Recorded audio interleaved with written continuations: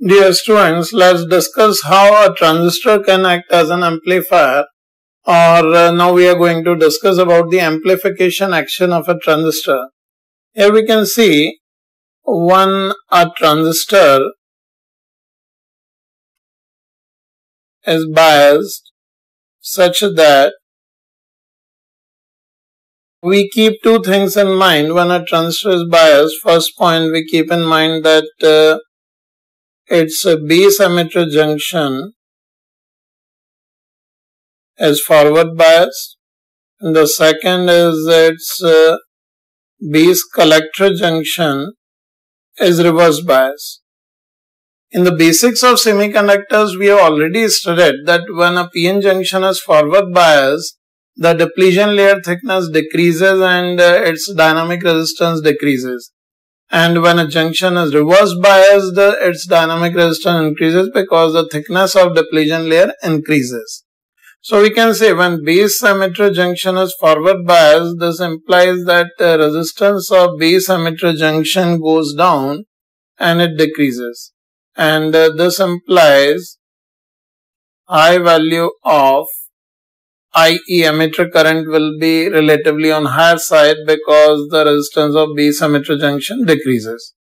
And when the base collector junction is reverse biased, this implies resistance of base collector junction increases because of increase in thickness in the depletion layer of base collector junction. And uh, we know well that uh, uh, we can also write that as uh, majority of carriers from emitter are passed to collector side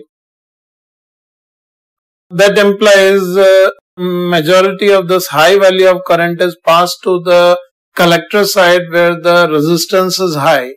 So we can say a high potential drop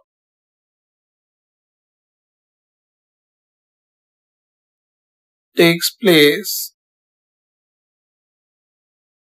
across base collector junction.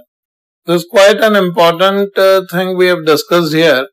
Uh, I'll explain the whole phenomena once again because uh, what I have written here is the basis of amplification action of a transistor.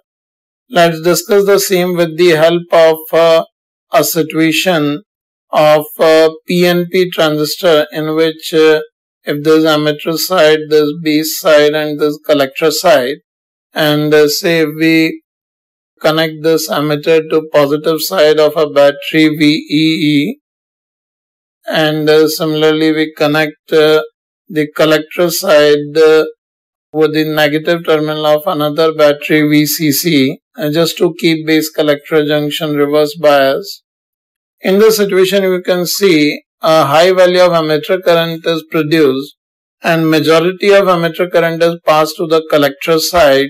So IC which is approximately or slightly less than IE exists on the other side and a small IB exists through the base because of low doping in base. Now here if we talk about the potential difference across base and emitter say it is represented by VBE and the potential difference across base and collector say it is represented as VBC. Then in this situation there are few things we need to understand that due to this forward biasing of base emitter voltage a high current is produced and majority of current is passed on to the collector side except a small value is withdrawn by the base and if a high current is passed through the base collector junction as the resistance of base collector junction is high the potential drop across the base collector junction will be very high compared to base emitter junction because uh, across the base emitter junction the resistance is low. So we can say this low resistance zone is producing a high current which is transferred to a high resistance zone and it is producing a high potential drop. So this is the basic mechanism we call uh, amplification action of a transistor. And uh, here you can also note one point uh, as uh, the current is being transferred from low resistance zone to the high resistance zone. Here the current is transferred from low resistance to high resistance. From this the name this transistor for this device is derived. Here this term trans is derived from uh, the term transfer of current from low to high resistors. So trans and uh, stars will collaboratively define the term transistor. That's why the name of this device is uh, kept as transistor, which is used uh, or derived from the situation where current is transferred from low to high resistor zone. Now from the next section we'll study about the different type of biasing connections of a transistor as an amplifier.